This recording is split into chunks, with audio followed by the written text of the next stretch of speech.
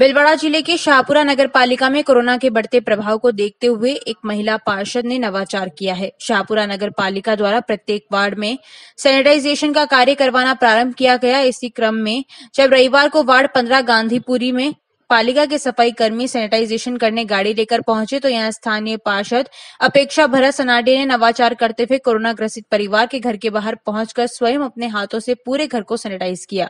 वे corona जागरूकता का संदेश भी दिया। उन्होंने कहा कि महामारी के इस दौर में विशेष ध्यान रखने की ज़रूरत है। उन्होंने प्रधानमंत्री के दो गज दूरी, मास्क है ज़रूरी के मंत्र को याद भी दिलवाया। पार्षद ने सभी वार्ड वासियों से अपील भी की कि वे सावधानी रखें। हाथों को अच्छे से बार बार धोएँ और जितना हो सके उतना घर में ही रहें तथा राज्य व केंद्र सरकार की गाइडलाइन की पालना करें। कोरोना के बढ़ते प्रभाव को देखते हुए नगर पालिका शाहपुरा ने प्रत्येक वार्ड में सैनिटाइजेशन का कार्य करवाना प्रारंभ किया है।